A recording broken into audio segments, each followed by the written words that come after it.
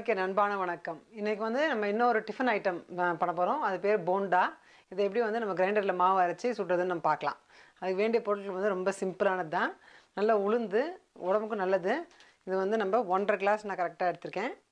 இது வந்து ஒரு முக்கால் மணி நேரமே ஊறிடும். நான் வந்து ஒரு டூ ஹவர்ஸ் ஊற வச்சு எடுத்திருக்கேன் இதை. அது கூட வந்து ஒரு கைப்பிடி பச்சரிசி. இந்த அளவு குவான்டிட்டிக்கு ஒரு கைப்பிடி அரிசி. அது கூட வந்து காரத்துக்கு போண்டனாவே வந்து மிளகு. அதனால் மிளகு நல்லா நம்ம பொடிச்சு போட போகிறோம் அரைச்சதுக்கப்புறமா. தேங்காய் நீங்கள் பல்லு பல்லாக குட்டி குட்டியாக போடலாம். நான் வந்து டெசிகேட்டட் கோகோனட் அது வந்து ஒரு ஸ்பூன் அளவுக்கு போடுப்பேன் அப்புறம் உப்பு இது அரைக்கும் போதே கடைசியில் போட்டு எடுத்துலாம் ஸோ மாவு வந்து நம்ம கிரைண்டரில் அரைச்சா நல்லது ஏன்னா வந்து கொஞ்சம் தண்ணி விடாமல் நம்ம அரைக்கணும். மிக்சியில் அரைக்கும்போது உங்களுக்கு கொஞ்சம் சிக்கிக்கும். அதனால் நீங்கள் கிரைண்டர் இருந்துன்னா கிரைண்டர்லேயே மெயினாக அரைங்க. நான் அதை எப்படி அரைக்கணும் நம்ம பார்க்கலாம். ஃபிஃப்டீன் மினிட்ஸில் நல்லா அரைஞ்சிரும். தண்ணி ஊற்றாமல் லேசாக நம்ம தெளி தெளித்து அரைக்க போகிறோம் மாவு ரெடி ஆன அப்புறமா நம்ம வந்து எண்ணெயில் போட்டு இருக்க போகிறோம் அதனால் கடாய் ரெடி பண்ணி வச்சுருக்கேன். ஸோ உளுந்துக்கும் அரிசிக்கும் வந்து தண்ணி வடிகட்டியாச்சு. நம்ம வந்து இப்போ போட்டு அரைக்க போகிறோம்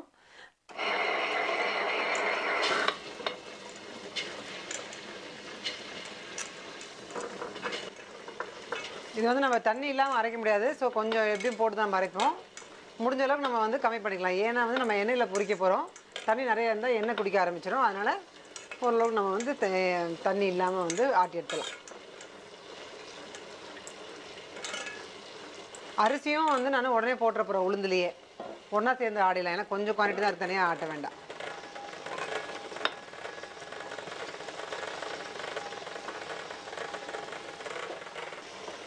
ஸோ இப்போ அரைக்க ஆரம்பிச்சிருக்கு. மேலே அப்படியே எடுத்து விடுவோம். ஏன்னா மாவு தான் மெயின் நம்ம மாவு பண்ணிட்டோன்னா நம்ம வந்து பொரிச்சு எடுத்துடலாம். அதனால் மாவு அரைக்கிறது நான் வந்து காட்டணும்னு தான் ஸ்பெசிஃபிக்காக இப்போ காட்டுறேன் நான். இது நம்ம ஈவினிங் டின்னருக்கு மோஸ்ட்லி வச்சுட்டா நல்லாயிருக்கும். இல்லை மார்னிங் பிரேக்ஃபா பிரேக்ஃபாஸ்ட் நல்லாயிருக்கும். அரைச்சிட்டு நீங்கள் வந்து ஃப்ரிட்ஜில் எடுத்து வச்சுக்கலாம். ஆனால் இது ஊ இதை ஊற வைக்க வேண்டாம். உடனே வந்து நம்ம அரைச்சிட்டு உடனே சுடலாம். வடை மாதிரி தான் இப்போ கொஞ்சம் தண்ணி ஊற்றுறேன்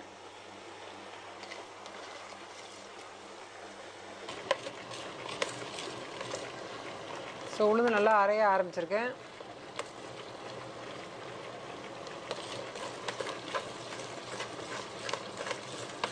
இப்போ போட்டு ஃபைவ் மினிட்ஸ் ஆச்சு. நம்ம வந்து இன்னும் ஒரு டென் மினிட்ஸ் இந்த மாதிரி பக்கத்தில் இருந்தே ஆட்டி எடுத்துடலாம்.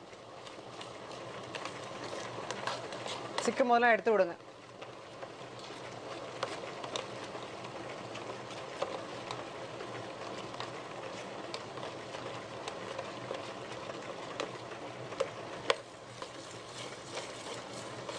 இப்போ பார்த்தீங்கன்னா வந்து கட்டியாக இருக்குது கொஞ்சம். அதனால் நான் தண்ணி தெளிக்க போகிறேன் லேசாக சும்மா கொஞ்சம் கொஞ்சம் தெளிச்சு ஆட்டலாம் ஆல்மோஸ்ட் அரைஞ்சிடுச்சு. இப்போ வந்து நான் உப்பும் போட்டுற போகிறேன் இதில். ஸோ இந்த மாவுக்கு இவ்வளோ போட போகிறேன் இப்போ. அப்புறமா அரைச்சிட்டு பார்க்கலாம் ஸோ இந்த ஸ்பூன் அளவுக்கு நான் ஃபுல் ஸ்பூன் போட்டிருக்கேன் நான். அது கரெக்டாக இருக்கும். இப்போ பார்த்தீங்கன்னா வந்து நான் ஆஃப் பண்ண போகிறேன் இப்போது ஆஃப் பண்ணிட்டு ஒரு வாட்டி பார்க்க போகிறேன் எப்படி இருக்குன்ட்டு? இப்போ பார்த்தீங்கன்னா உளுந்து நல்லா அரைஞ்சிருக்கு. ஆனால் இன்னும் கொஞ்சம் புசு புசுன்னு வரலாம். இன்னும் டூ த்ரீ மினிட்ஸ் ஆகலாம். இப்போ வந்து ஒரு லெவன் மினிட்ஸ் ஆயிருக்கு. ஸோ நான் கரெக்டாக ஃபிஃப்டீன் மினிட்ஸ் ஆட்டலான்னு இருக்கேன். இன்னும் டூ த்ரீ மினிட்ஸ் இப்போது உப்பும் போட்டோம் எல்லாம் சேர்ந்து அரைஞ்சிரும். அதுக்கப்புறமா நம்ம எடுத்துடலாம். த்ரீ மினிட்ஸ் ஆகட்டும்.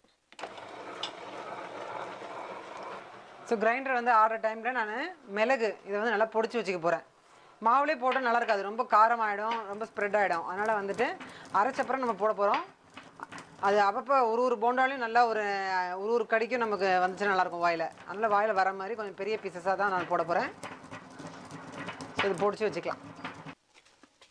ஸோ இப்போ நல்லா அரைப்பட்டுருச்சு. இந்த கன்சிஸ்டன்சியில் இருக்குது இப்படி போட்டால் நல்லா வந்து தொப்புன்னு விடுற மாதிரி. ரொம்ப தண்ணியாக இல்லாமல்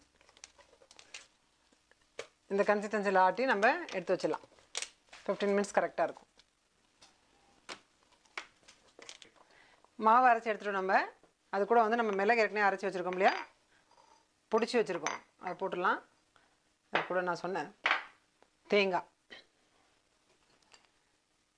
இது போட்டு நீங்கள் லேசாக மிக்ஸ் பண்ணி பாருங்கள் உப்பு பத்தலைன்னா நீங்கள் இந்த டைமில் போட்டுக்கலாம். இதுவே கரெக்டாக இருக்கும் நீங்கள் இப்போ வந்து நான் இங்கே கடாயில் வந்து எண்ணெய் ஊற்றிருக்கேன் இப்போ க எண்ணெய் காஞ்சவொடனே நான் குட்டி குட்டி போண்டாக்கெலாம் போட்டு எடுக்க போகிறேன் வாங்க பார்க்கலாம்.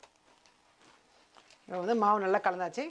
நல்ல மிளகு வாசனை நல்லா இருக்குது இதில் என்னென்னா உளுந்து மிளகு இதெல்லாமே வந்து நமக்கு கொஞ்சம் ஹெல்த்தியாக இருக்குது கொஞ்சமாக தேங்காய் போட்டிருக்கேன். நம்ம இந்த டீப் ஃப்ரை பண்ணால் கூட நமக்கு வடை மாதிரி நல்லா உளுந்து வடை வந்து நல்லா ஹெல்த்தி தான் அது. அதே மாதிரி நம்ம போண்டாவும் நல்லா போட்டு எடுத்துக்கலாம். இந்த மாதிரி குட்டி குட்டி சைஸில் எப்படி போட்டு எடுக்க போகிறேன் எண்ணெயில். வாங்க பார்க்கலாம். இன்னும் நல்லா காஞ்சிடுச்சு. நம்ம வந்து இப்போது போண்டா போடலாம். அதுக்கு வந்து பக்கத்தில் தண்ணி வச்சுக்கோங்க ஒரு பவுலில் கையில் வந்து நம்ம தண்ணி நினச்சிட்டு போடும்போது நமக்கு போண்டா நல்லா ஷேப் பண்ண வரும். ஸோ மாவு கொஞ்சமாக இந்த மாதிரி எடுத்துகிட்டு கையிலேயே இப்படியே லேசாக ஷேப் பண்ணிங்கன்னா போதும். ரவுண்டாக எண்ணெய் வந்து எப்பவுமே ரொம்ப சூடாக இருக்கக்கூடாது. அதனால் கொஞ்சம் மீடியம் ஹீட்டாகவே வச்சுக்கோங்க. அப்போ தான் உள்ளே நல்லா வேகணும். ஸோ மெதுவாக போட்டு எடுக்கணும் நம்ம. ஸோ ஒரு வாட்டி உள்ளே போட்டுட்டு அதுக்கப்புறம் கொஞ்சம் ஷேப் பண்ணி எடுத்துடலாம். ஒன்றோட ஒன்று டச் பண்ணாமல் கொஞ்சம் தூர தூரமாக போட்டுவாங்க.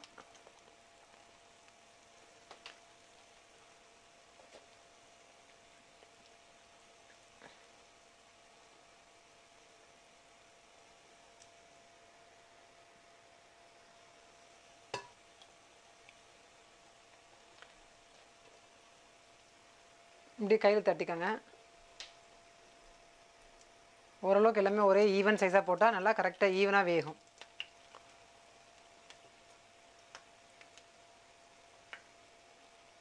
முதல்ல கொஞ்சம் நேரத்துக்கு வேக வைக்கும் போது தொடக்கூடாது. அது கொஞ்சம் நேரம் வெந்ததுக்கு அப்புறமா நம்ம மெதுவாக அதை திருப்பலாம். அதுவே வந்து ஒட்டிக்க ட்ரை பண்ணோம். அப்போ நம்ம பிரித்து விடலாம்.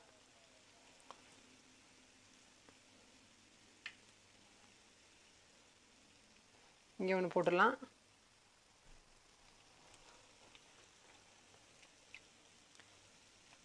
இங்கே ஒன்று போடலாம்.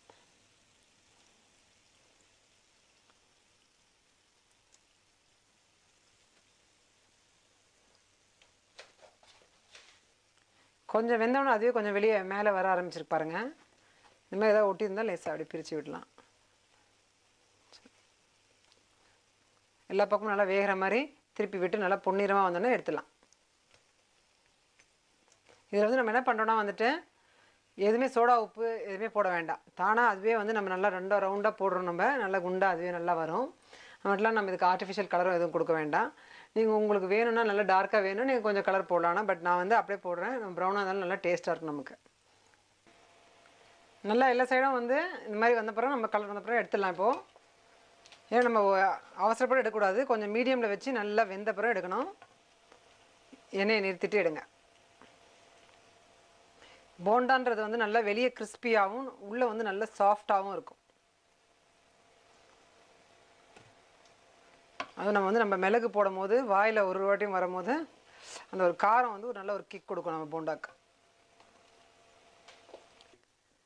ஸோ இப்போ இந்த பேட்ச் எடுத்துகிட்டோம் நம்ம இன்னொரு பேட்ச் போட்டுக்கலாம். இதில் போட்ட மாதிரியே தண்ணி கொஞ்சம் கையில் வச்சுட்டு இந்த மாதிரி.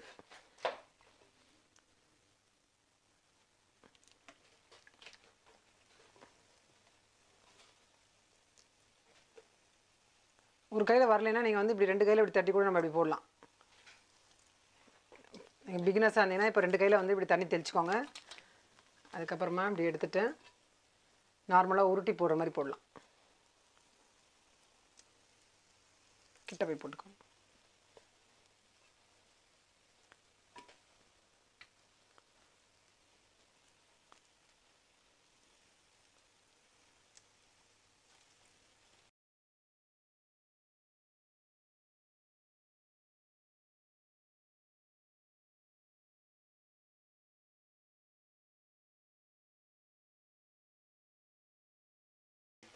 சரி இப்போ வந்து லாஸ்ட் பேட்ச்சு அதுவும் ரெடி ஆகிடுச்சு இப்போ வந்து மாவு கரெக்டாக வந்து நமக்கு காலி ஆகிடுச்சு ஃபுல்லாக இதையும் வந்து மெதுவாக நிறுத்தி எடுக்க போகிறேன் மொத்தம் வந்து நமக்கு இருபத்தி ஆறு டுவெண்ட்டி சிக்ஸ் போண்டாஸ் வந்திருக்கு.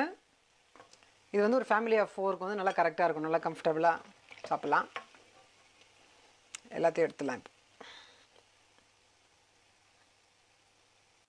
ஸோ இப்போ நம்மளுடைய சூடான சுவையான போண்டாக்கள் வந்து ரெடி ஆகிடுச்சு இது கூட என்ன பார்த்தீங்கன்னா வந்து நல்ல ஒரு தேங்காய் சட்னி வெங்காயம் தக்காளி போட நல்ல சட்னி.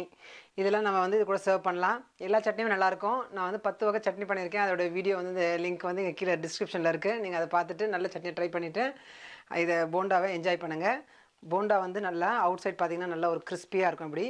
அதை பிரித்தோன்னா வந்து நல்லா உள்ளே நல்லா சாஃப்டாக இருக்கும் நல்லா. இது வந்து நம்ம சட்னியோட தோச்சு சாப்பிடும் போது டேஸ்ட்டாக இருக்கும். இது வந்து நான் மிட் வீக் வெனஸ்டே இன்னைக்கு வந்து டின்னருக்கு பண்ணியிருக்கேன். அதனால் எப்போ வேணால் நீங்கள் டக்குன்னு பண்ணிடலாம். ஏன்னா உளுந்து ஊறுறது வந்து ரொம்ப சீக் குக்காகிடும் அது மட்டும் இல்லாமல் அரைக்கிறது ஃபிஃப்டீன் மினிட்ஸ் தான். அதனால் நீங்கள் சீக்கிரமாகவே இதை வந்து நீங்கள் ட்ரை பண்ணி பாருங்கள் நார்த் இந்தியன் டிஷ்ஷஸ்லேயே வந்து top five dishes tiffin items என்னென்னு நீங்கள் வரிசைப்படுத்தணும்னா நான் என்ன சொல்வேன்னா வந்துட்டு இட்லி தோசை பொங்கல் வடை அது கூட வந்து கண்டிப்பாக போண்டா. நல்ல ஒரு சட்னியோட தோச்சு சாடும்போது நல்லா டேஸ்ட்டாக இருக்கும். இதை வந்து நீங்கள் சீக்கிரமாகவே வந்து ட்ரை பண்ணி பாருங்கள் க கமெண்ட்ஸும் போஸ்ட் பண்ணுங்கள் தேங்க்ஸ்